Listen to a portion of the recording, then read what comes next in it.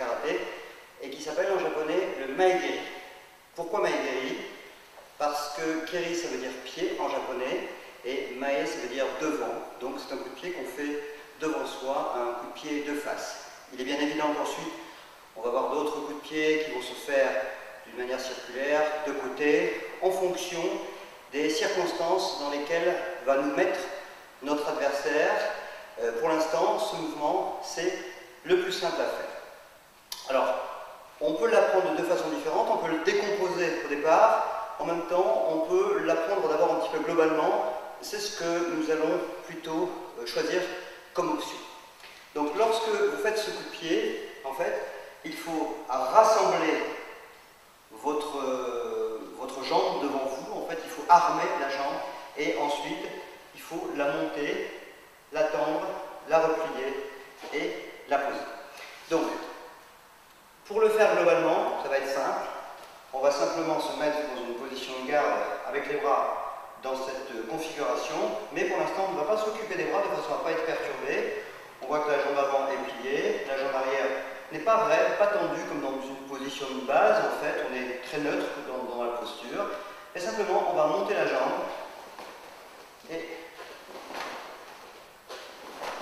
la lancer devant soi. Vous voyez que pour l'instant, ça pose pas tellement de problème d'équilibre puisqu'on va relativement vite, mais lorsqu'on va vouloir décomposer un petit peu le mouvement, eh bien, on va avoir forcément un problème d'équilibre puisqu'on va se tenir sur une jambe. Donc déjà, pour éviter ce problème d'équilibre, on va prendre quelque chose,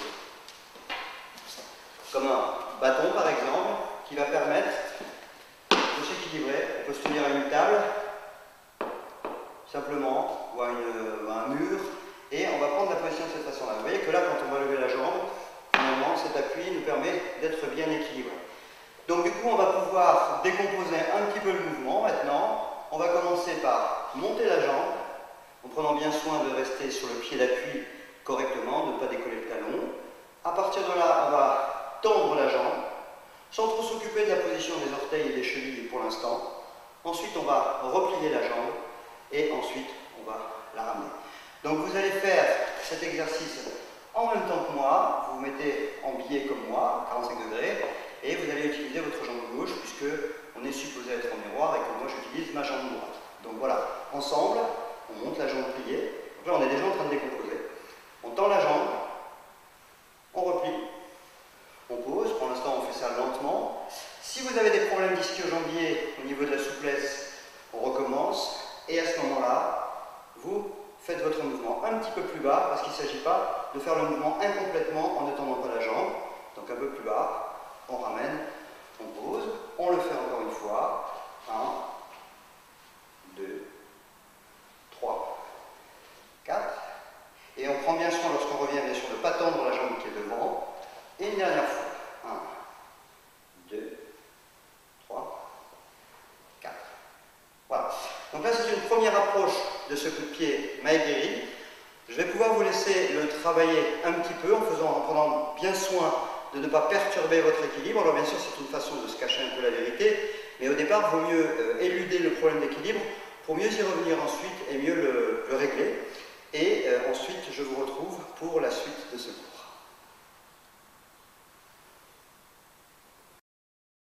Bien, nous revoilà donc avec notre coup de pied main notre coup de pied de face. Et de nouveau, pour aller un petit peu plus loin, pour évoluer dans la façon de faire ce mouvement, je vais demander l'aide de Jean-Claude. Voilà, donc on va se mettre en garde tous les deux, à gauche, ici. Et vous allez voir que tout à l'heure, quand je vous ai euh, demandé de faire le coup de pied, je vous ai dit rassemblez, montez bien haut votre jambe. Voilà, il y a plusieurs raisons à cela.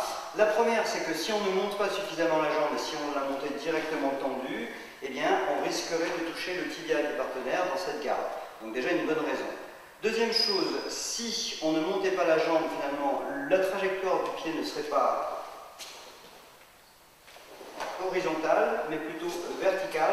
Et à ce moment-là, puisqu'on frappe sur une personne qui se tient verticale, il faut frapper à l'horizontale pour qu'il y ait pénétration, c'est logique. Donc lorsqu'on va monter la jambe, ça va servir aussi à pousser le pied vers l'adversaire et pénétrer plus facilement.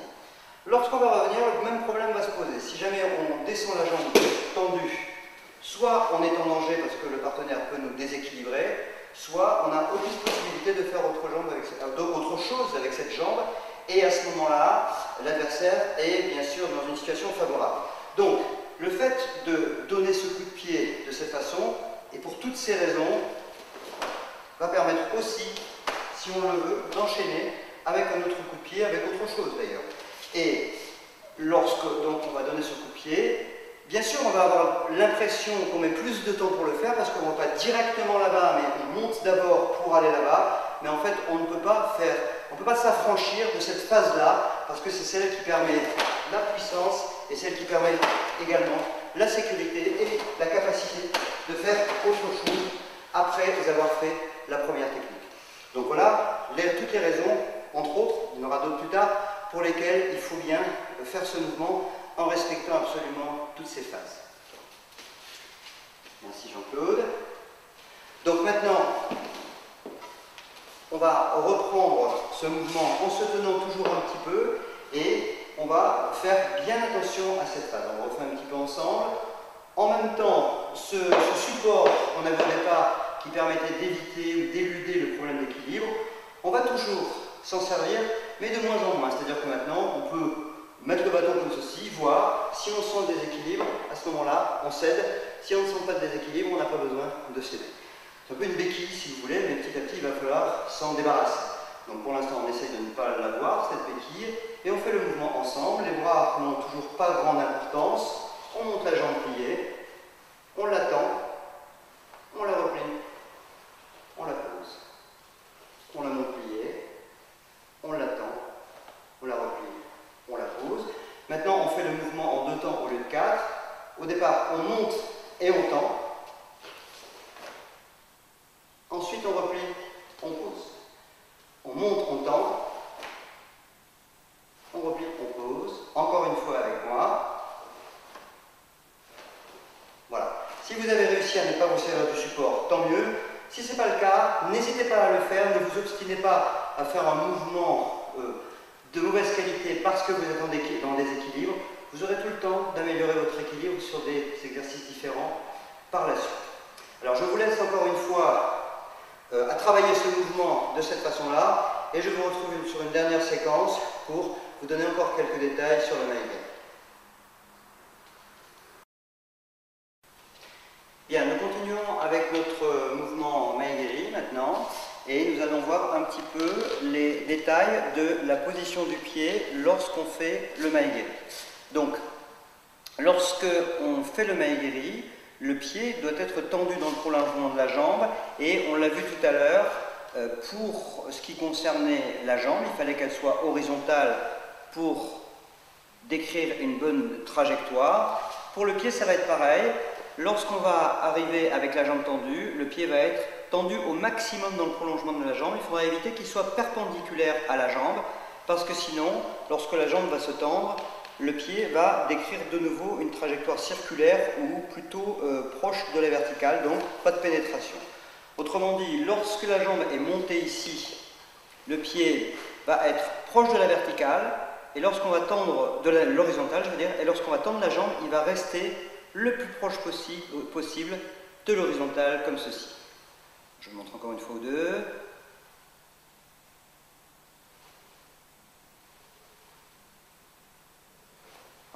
Alors vous pouvez remarquer également que lorsque je fais le coup de pied, mes orteils sont recroquevillés, c'est-à-dire que la cheville est tendue et les orteils sont, eux, recourbés en fait sur le pied.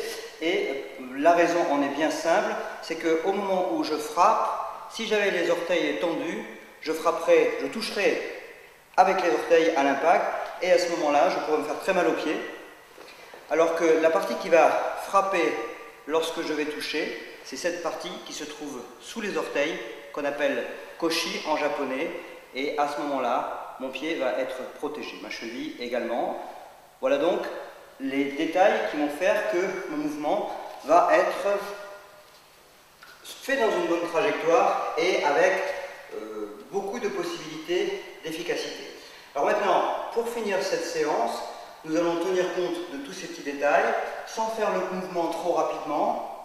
On va juste ajouter un dernier détail qu'on n'avait pas évoqué jusqu'à présent, c'était la position de garde dans laquelle on va faire le mouvement. Cette position de garde est simple, elle n'a plus rien à voir avec celle qu'on a vue dans les mouvements de technique de base. On va avoir une position très neutre au niveau des pieds et en même temps, on va avoir les deux bras prêts à combattre d'une manière plus libre, plus mobile. Donc, on est dans cette position préparatoire qu'on appelle yoi en japonais. Je me mets en garde avec mon pied gauche devant et vous en miroir avec votre pied droit devant. Et ensemble, on va faire le coup de pied, mais au lieu de reposer derrière, on va poser devant, c'est-à-dire qu'on va avancer.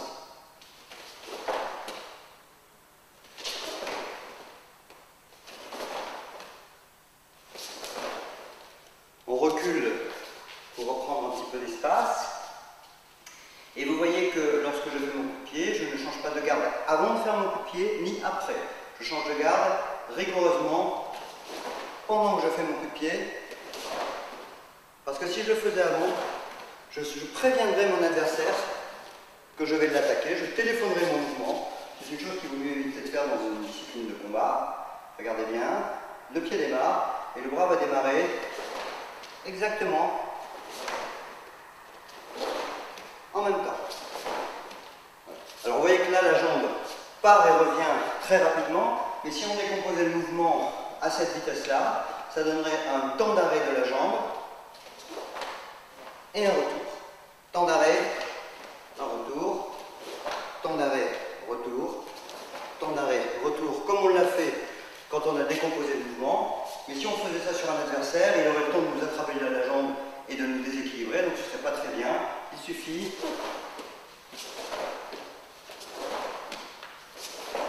de faire le mouvement rapidement, comme ceci. Voilà pour ce coup de pied, Maïgeri, et nous, aurons l'occasion de revenir sur ce type de coup de pied en évoluant un petit peu et en voyant un certain nombre de ces applications possibles dans un prochain cours sur Internet. Merci de votre attention.